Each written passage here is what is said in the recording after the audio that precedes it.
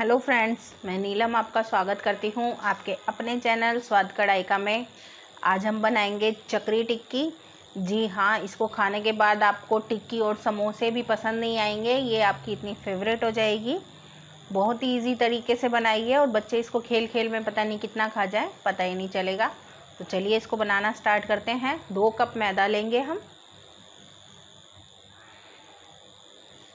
और इसमें हम डालेंगे आधा कप तेल। जी हाँ वही समोसे का डो बनाना है। आधा कप तेल डालने के बाद हम इसमें डालेंगे थोड़ा सा नमक और थोड़ी सी अजवाइन।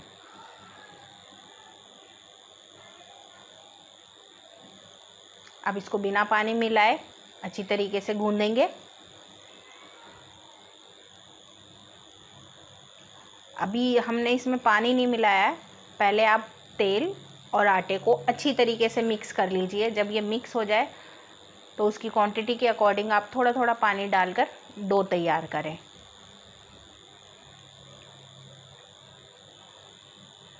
थोड़ा थोड़ा पानी डालते रहेंगे, क्योंकि हमें एक टाइट डो चाहिए।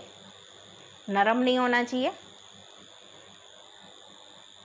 ये टाइट डो देखिए हमारा तैयार हो चुका है, लेकिन एक बार में ये डो तैयार नहीं होता।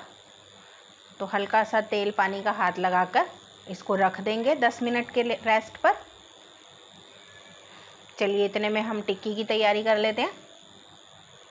उसके लिए हमने लिए हैं आधा किलो आलू, जो हमने उबाल कर कद्दूकस कर लिए थे। इसमें हमने डाली है लाल मिर्च पाउडर, एक चम्मच एक चम्मच अमचूर पाउडर, काला नमक काला नमक सिर्फ़ आधा चम्मच डालें और बाकी नॉर्मल नमक डालें आधा चम्मच। चाट मसाला और थोड़ा सा भुना हुआ जीरा पाउडर। साथ ही इसमें डालें, हमने मूंगफलियों को क्रश कर लिया था। वो थोड़ा क्रंची टेस्ट आएगा तो बहुत ही टेस्टी लगेगा। मूंगफलियों को क्रश करके हमने इसमें डाल लिया है। अब इसमें हम डालेंगे बारीक कटा हुआ प्याज।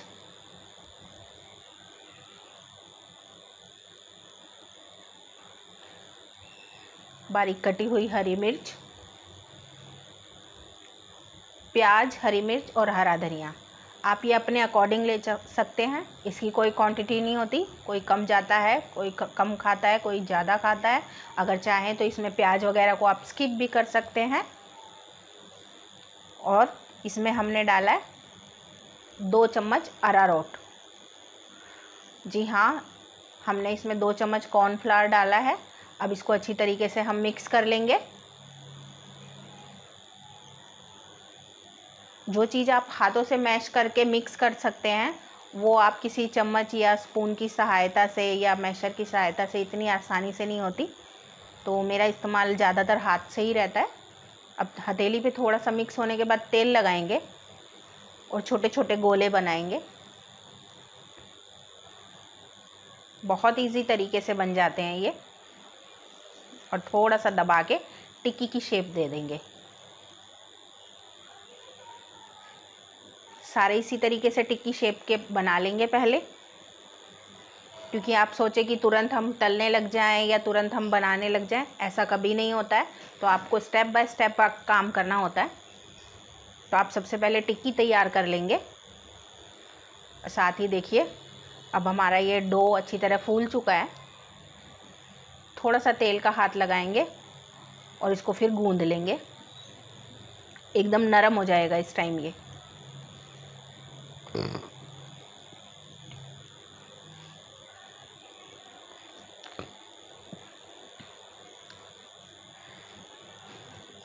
कई चीज़ होता है कि मैं बिल्कुल प्रोफेशनल तरीके से नहीं करती हूँ, क्योंकि जब मेरा मन करता है, मैं तुरंत आपके लिए वीडियो बनाने लगती हूँ, खाना बनाने लगती हूँ तो कुछ स्पेशल नहीं करती हूँ मैं। सिर्फ़ खाना बनाने को इन्जॉय करती हूँ। तो कई बार होता है कि मैं आपको बताते बताते वो धीरे धीरे काम नहीं कर पाती हूँ, क्योंकि ये मेरा नॉर्मल तरीका होता है। देखिए, जैसे ये मैंने रोटी बेली है तो मैं आपको धीरे धीरे बेल कर नहीं दिखा सकती हूँ।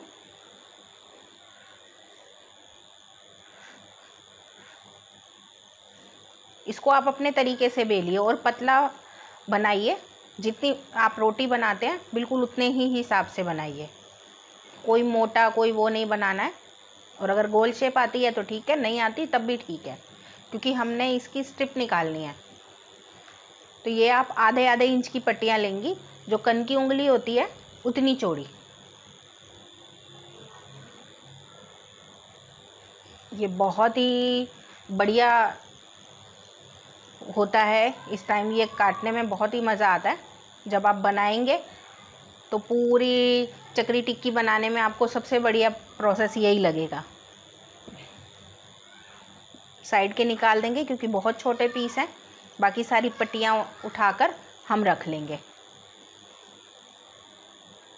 फ्रेंड्स आपने देखा कितने इजी तरीके से मैं आप लोगों को बताती हूँ। और इंग्रेडिएंट्स मैं कुछ ऐसे इस्तेमाल नहीं करती हूँ। कि जो आपको ढूँढने पड़े या कहीं मिले ना या आपको सोचना पड़े कि नहीं है तो नहीं बनाते हैं, आप ट्राई ज़रूर करें। मेरी कोशिश यही रहती है कि मेरी बनाई हुई चीज़ें आप ट्राई ज़रूर करें। ये हमने थोड़ा सा मैदा और थोड़ा सा पानी लिया है। ये ग्लू का काम करेगा।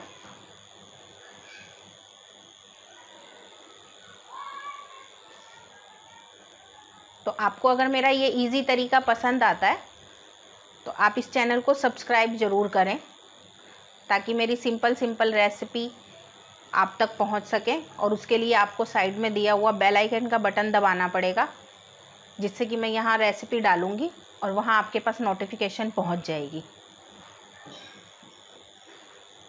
ये देखिए, पहले इसको हम सेट कर लेंगे। एक बार में कुछ नहीं होता है। आपको स्टेप बाय स्टेप चलना पड़ता है, मैं आपको बार बार यही समझाती हूँ। एक बार में कुछ नहीं होता है।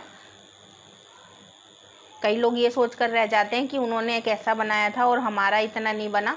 तो अगर आप रेगुलर में रखेंगे तो आपके भी इतनी सुंदर सुंदर डिज़ाइन के और इतनी बढ़िया बढ़िया टेस्ट की चीज़ें बननी शुरू हो जाएँगी। और चीज़ कोई भी बनाई जाए, अगर प्यार से बनाई जाए तो टेस्ट उसमें अपने आप आ जाता है। ये देखिए, पहले हमने एक साइज़ ले लिया है। मैं इसको काट के इस तरीके से इसलिए बता रही हूँ क्योंकि आपको इजी लगे। ये हम सारी स्टेप खोल लेंगे। थोड़ा थोड़ा सा वो जो हमने मैदे वाला घोल बनाया था, उसे लगाएँगे और उसके ऊपर चिपकाते हुए चले जाएँगे। मैं आपको दोबारा फिर वही कहूँगी। कि आप सारी टिक्कियाँ बनाकर एक बार तैयार करके रख लें। ऐसा नहीं है कि आप बनाए जा रहे हैं और उधर तले जा रहे हैं, क्योंकि ना वो तली जाएँगी और ना आप बना पाओगे। तो पहले कच्चा माल तैयार कर लें, उसके बाद आप कढ़ाई का या तलाई का काम शुरू करें। ये हमने तेल गरम कर लिया था। अब हमने इसको स्लो कर लिया है आँच को, क्योंकि खस्ता होने के लिए मीडियम या स्लो आँच पर ही पकना ज़रूरी है। तेज़ आँच पर आप कोई भी खस्ता चीज़ नहीं बना सकते हो।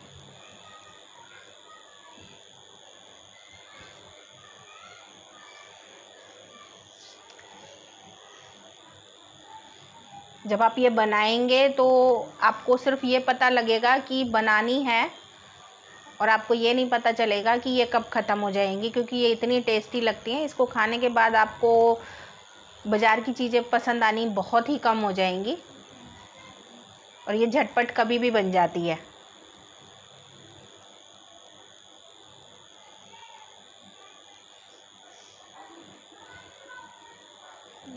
दोनों साइड से सेक लेंगे। देखिए, ये खस्ता हो चुकी है और तेल के उबलने से आपको पता चल रहा होगा कि तेल ज़्यादा हमने गरम नहीं रखा हुआ है।